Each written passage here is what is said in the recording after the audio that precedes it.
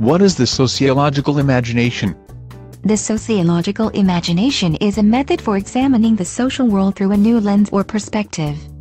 Why is it important to examine the social world through a new lens? People have a tendency to view the social world from their own history and biography creating a biased perspective. What do you mean by one's history and biography influence a biased perspective?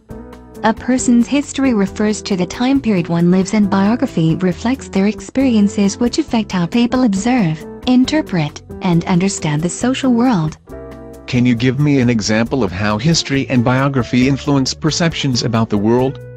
Consider, someone born in the 1930s might not know how to use or access mobile technology. So, when researching or learning something new they ask a friend or go to the library. I see. When I have to research or learn something new, my first thought is to do a Google or YouTube search. Exactly. Your history and biography affect how you problem solve. Someone born 50 years from now will have a different perspective from even more advanced technologies. Got it. A person is limited by their history and biography and must purposefully think about their perspective and expand their observations and understanding of the social world. That's the sociological imagination.